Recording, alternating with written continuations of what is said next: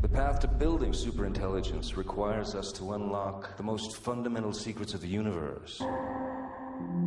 Intelligent machines will soon allow us to conquer our most intractable challenges. To develop new methods for the early detection of cancer. To build a better future for all of us. Simply put, to save lives. Once online, its analytical power will be greater than the collective intelligence of every person born in the history of the world. Professor? What did you do? Take out the cores.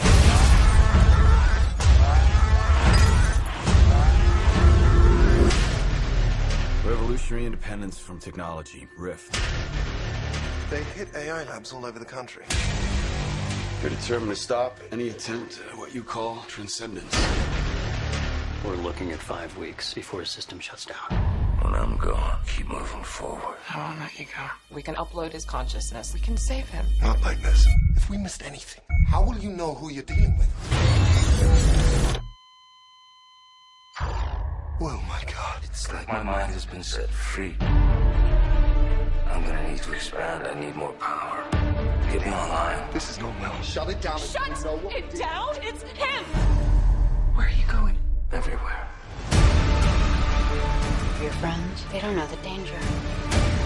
If she connects it to the internet, the first thing it'll do is copy itself. And then there is no taking it down. The real will die.